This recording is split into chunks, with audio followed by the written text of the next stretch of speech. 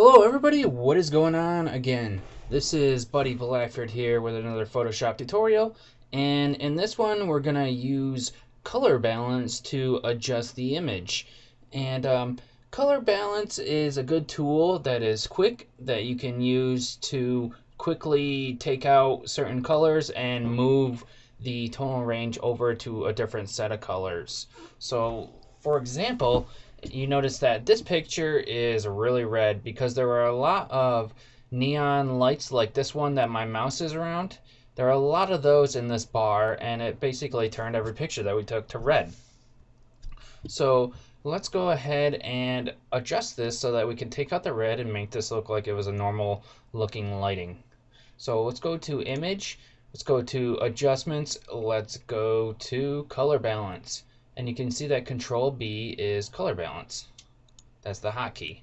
So what do we have here? All right, one sec, let me move this somewhere good. Let's move it right here so we can see the entire picture. All right, now down here, we'll start here at the bottom. We've got tone balance. Now we can adjust shadows, midtones, highlights, and you can tell which one you're on by, um, if you aren't looking at the tone balance by accident, you can you can see that the little arrows on here, the sliders, they change. So highlights are going to be the brightest, midtones are going to be gray, and shadows are going to be black on there. Now, preserve luminosity, you want to keep that checked so that it keeps the entire picture from getting darker and lighter as you move the slides. You can usually leave the tone balance at midtones to get the best results. So start with that and uh, work from there. Now, what you need to do is take a careful look at your image and uh, see what kind of stuff needs to be changed or moved around. Now obviously we can see that red needs to be taken out of this picture, um, but what else? Alright, magenta is close to red, so we'll probably need to take out some magentas and, and then we'll decide when we get down to the yellow and the blue if we need to do anything there. So let's go ahead and move this uh, top slider here We've got the uh, contrasting colors here, the uh, opposites here. So we'll go to move left to the uh, cyan here. And you can already see it's taken out some of the uh, image. And um, since we're doing this, this wasn't the highest quality photo. It was taken from a phone. But you can still edit um, your phone pictures and stuff like that in Photoshop. And I'm sure people want to know how to do that as well. So let's uh, start moving out some of the magenta out of there.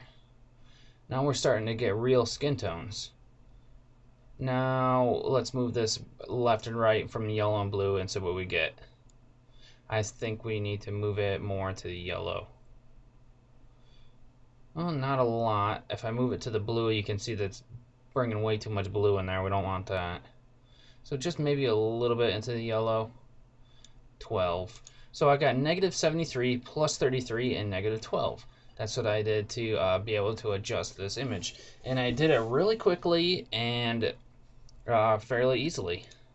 So if I go here to shadows, I can maybe work on this a little more. Actually, let's go to highlights because maybe it'll get th these a little bit better. We can move this and do some fine, fine small tuning to it. I don't want to do that too much. Maybe put some more yellow, a little bit of yellow in there shadows. Now, if you, you just take a look at your shadows, actually, I think I put too much yellow in there because the the highlights are a little starting to turn yellow. All right, and then you can you might not even need to adjust the uh, the shadows or the mid or the highlights. You might have just liked to add the normal um, the one when we use midtones. I thought it looked fine. So I could just put these back to zero and that would reset everything back to where it was. Now if we do a preview, uncheck the preview and go back, we can see the difference here. And a lot was definitely a lot of the red was definitely taken out to make it more like a regular picture. Now you might want to do some things like taking out some of the noise in the image or uh, softening it up and stuff like that to get a, a, a, rid of all this all the little specks and stuff like that. Or you can keep it on to create like a cool um, kind of noisy look. So that's up to you, uh, but we're not going over that part in this tutorial. And uh, that's uh, that's basically it.